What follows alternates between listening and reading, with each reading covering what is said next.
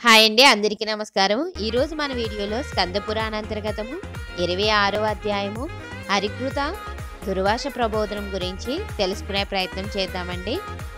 ఇంతకుముందు వీడియోలో విన్నాం కదా దుర్వాస మహాముని మీదకి విష్ణుమూర్తి సుదర్శన చక్ర ప్రయోగం చేశారని. ఇప్పుడు హరికృత దుర్వాస ప్రబోధనం గురించి తెలుసుకుందాము.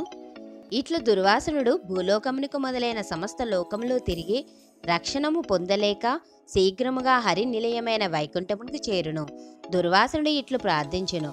జగన్నాథ బ్రాహ్మణ ప్రియ మధుసూదన సుదర్శన చక్ర సంబంధమైన మంటలు నా పైన పడకుండా రక్షించుము రక్షించుము.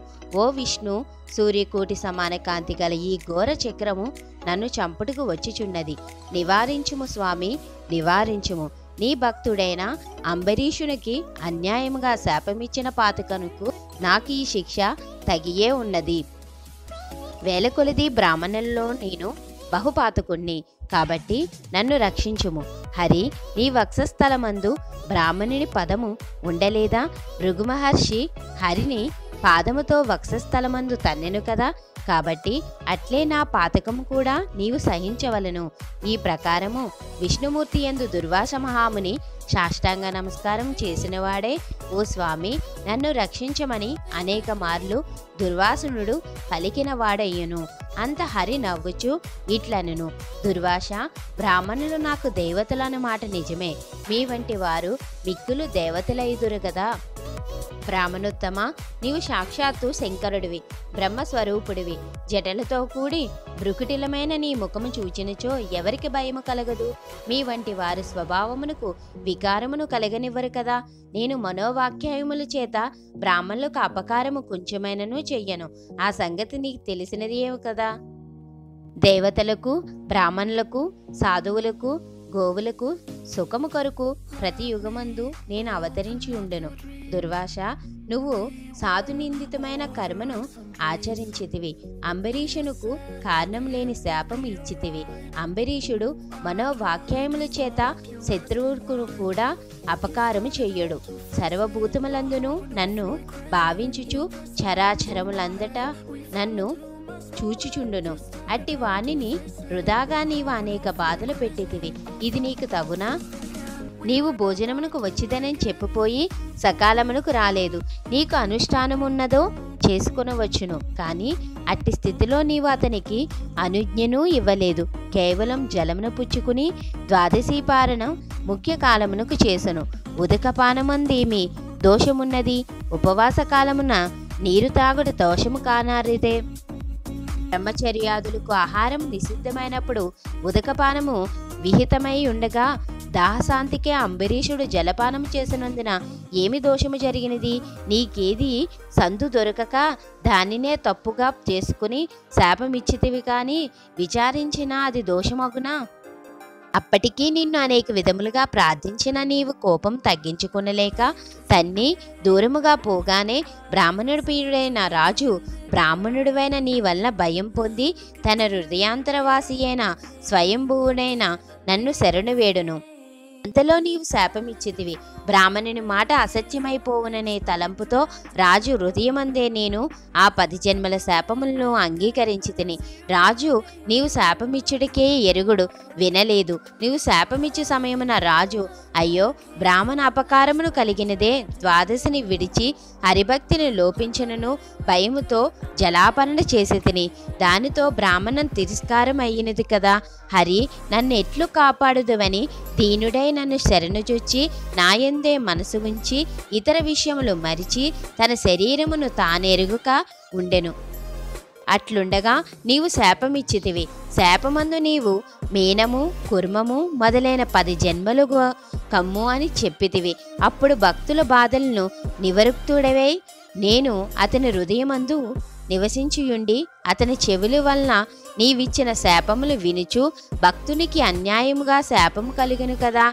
దీన్ని ఎట్లు చేయుదునని ఆలోచించి తిని బ్రాహ్మణుని మాటను సత్యముగా చేసితనని నా భక్తునికి అనుష్ఠానము కలిగును. శాపము నివారించితనని బ్రాహ్మణ వాంఛ సత్యమగును. కాబట్టి బ్రాహ్మణ వాక్యము సత్యమవుట భక్త మౌటుకు ఆలోచించి నీవిచ్చిన శాపములు నేను స్వీకరించి తిని భక్తులకు కలిగిన అంతులేని మహా కష్టములన్నిటినీ నేను హరింతును. నా భక్తుడు ధర్మాత్ముడు సమస్త భూతములందు సంబుద్ధి గలవాడు. అట్టి విషయమును ఎరిగియుండియు నీవు అధర్మముగా శాపమిచ్చితివి. వేదముల యందు దేశమును బట్టి కాలమును అనుసరించి వయసుకు ముఖ్యం చేసుకుని జాతిని అవలంబించి ఆశ్రమములు విశ్వముగా చేసుకుని మనుషులకు వివిధ ధర్మములు చెప్పబడినవి కదా? పురుషులు కొన్ని ధర్మములు స్త్రీలు కొన్ని ధర్మములు మనుష్య జాతకంతుకు కొన్ని ధర్మములు చెప్పబడినవి. కాబట్టి మనుష్య జాతికి సామాన్యముగా చెప్పబడిన ధర్మములు మనుషులందరూ విడవకూడదు. రెండు పక్షముల యందు మనుషులందరికీ ఏకాదశి నాడు భోజనం ఆచరించకూడదని వేదముల యందు పరమధర్మం విధించబడినది. అట్లు కాక భుజించిన ఎడల దోషమని చెప్పబడి ఉన్నది.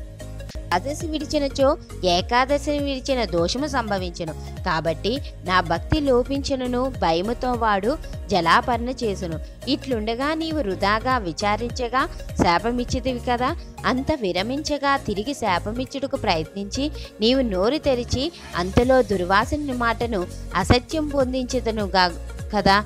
అని తలిచి నేను చక్రమును పంపితిని. అనగా శాపమిచ్చినా గ్రహించువారు లేరు కాక శాపము హృదయ అగును. తెలిచి నివారించి భా భావముతో చక్రమును పంపితిని. బ్రాహ్మణోత్తమ దుఃఖించకము. అంబరీషుని విషయమై నీవిచ్చిన శాపము నాకు వరమయ్యను. నేను ఈ రూపములు ధరించి అవతారములను ఎత్తవలసి ఉన్నది. నేను ఈ కల్పమందు ప్రళయమందు జగతి యొక్క స్థితి కారణము కొరకు శంకాసురుని సంహరించుటకును మానవులను రక్షించుకున్నట్టుకు తపనవుదును దేవదానవుల సముద్రమును మదించుతున్నప్పుడు సముద్రమందు మునిగిన మదపర్వతమును నా వీపును ధరించుటకు తాబేలు నగుదును. హిరణ్యాక్షుణ్ణి సమరించుటకును భూమిని ఉద్ధరించుటకు నీలాద్రితో నల్లకొండతో సమానమైన పంది నవ్వుదును. హిరణ్యకశువుని సంహరించడం కొరకు క్రోధ జ్వాలల చేత దిగంతములు వ్యాపించుచు వికృతాండునై మనుష్య సింహమునగుదును. లోకత్రయమును జయించి వినిబంధించి ఇంద్రునికి పోయిన రాజ్యమును ఇచ్చటి కొరకు వామనుని పొట్టివాడిని అగుదును స్త్రీనాశనము కొరకు మహాబలముతో కూడా క్రూర కర్మాత్ముడియను పరశురాముణ్ణి పేరుగల బ్రాహ్మణ్ణు అగుదును రావణి సంహారము కొరకు ఆత్మజ్ఞాన శూన్యునైన రాముణ్ణి రాజునగుదును.